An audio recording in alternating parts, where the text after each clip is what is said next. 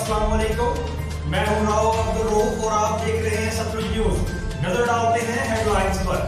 مچر آباد کے شہر نکلوٹ گنج میں گزشتہ روز قبل ایک سات سالہ بچہ عبد الرحمن کے گم ہونے کی اطلاع ورثہ نے پولیس اسٹیشن میں درج کروائی تھی۔ لیکن پولیس نے کوئی خاصا دھیان نہ دیا اور بچے کی لاش آٹھویں روز کے بعد ایک وڈیرے کے کھیت سے ملی۔ ملزمان کو گرفتار کر لیا۔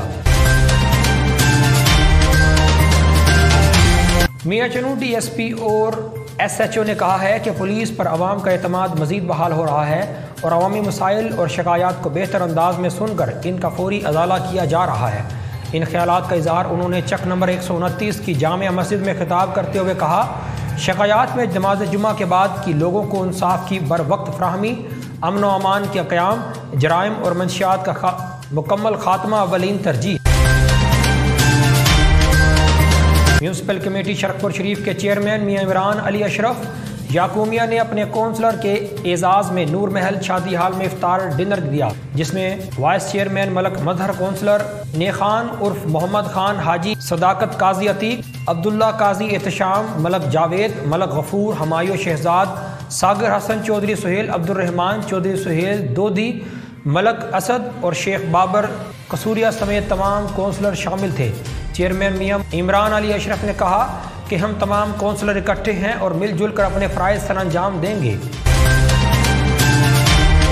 کوڑا district police officer Athar Ismail, وزیر اعلیٰ پنجاب عثمان بزدار اور inspector general of police Arif Nawaz Khan کے ویژن کے مطابق ہفتہ وار کھلی کچہری میں Okara district police officer Athar Ismail نے عوامی مسائل سن کر موقع پر احکامات جاری کیے۔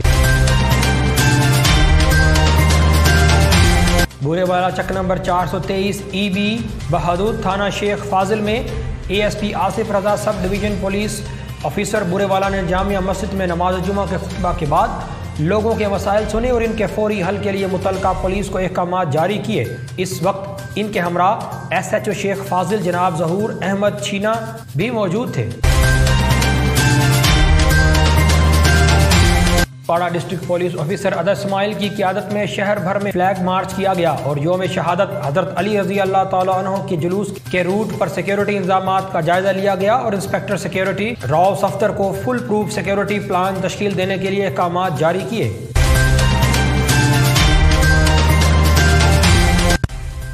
مزید اپڈیٹس کے لیے ہماری ویب سائٹ وزٹ کیجیے www